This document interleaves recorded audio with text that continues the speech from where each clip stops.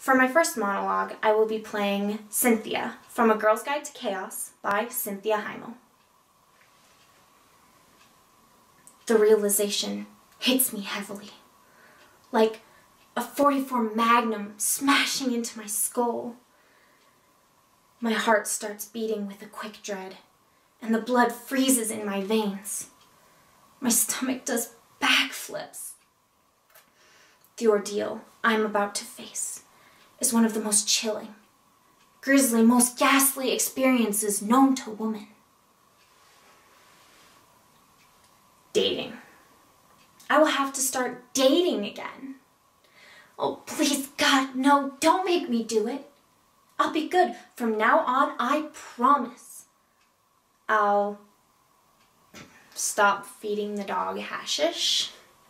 I'll be kind, thoughtful, sober, industrious, anything.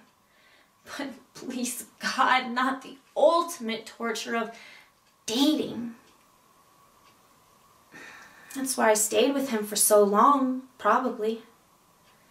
I couldn't stand the thought of going through it all again. Sure, sure, he might be a trifle wild and stubborn.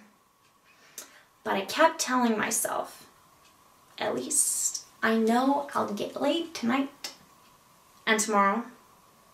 At least someone will go to the movies with me and not try to hold my hand. Ugh, hand holding. The worst thing about dating. It's the most nerve wracking experience. Once I start holding hands, I'm afraid to stop. If I pull away, will he think I'm being cold or moody? Should I squeeze his hand and kind of wiggle my fingers around suggestively? Or is that too forward? What if my hand is clammy? A clammy hand is more offensive than bad breath or right wing politics. A clammy hand means you're a lousy lay. Everyone knows that.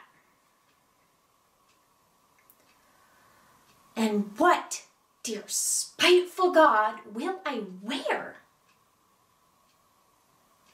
Thank you. For my second monologue, I will be portraying Amy from And Turning Stay by Kellie Powell.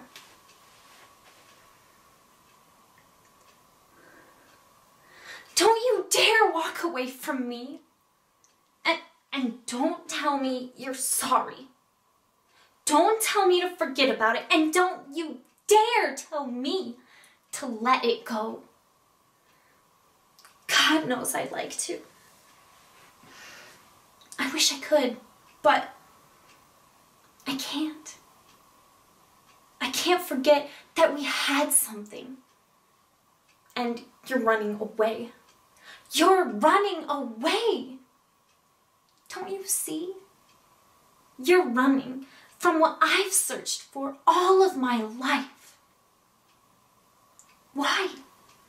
Because you're scared?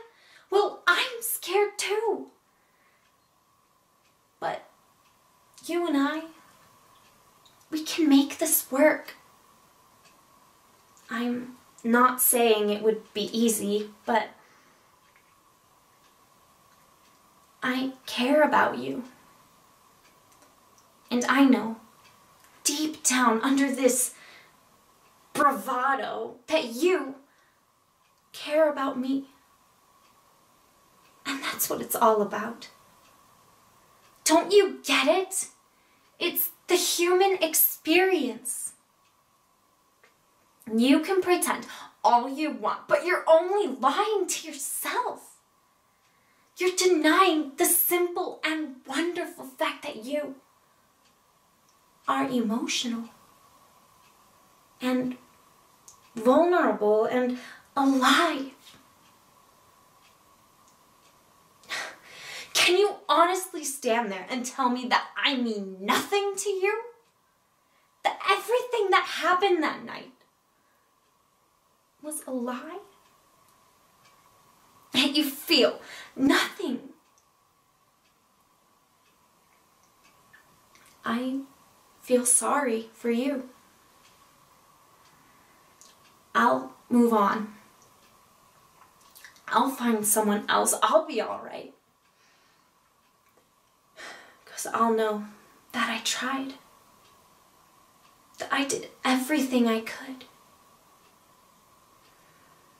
But someday, you will look back and you'll realize what you threw away. And you'll regret it. Always. Thank you.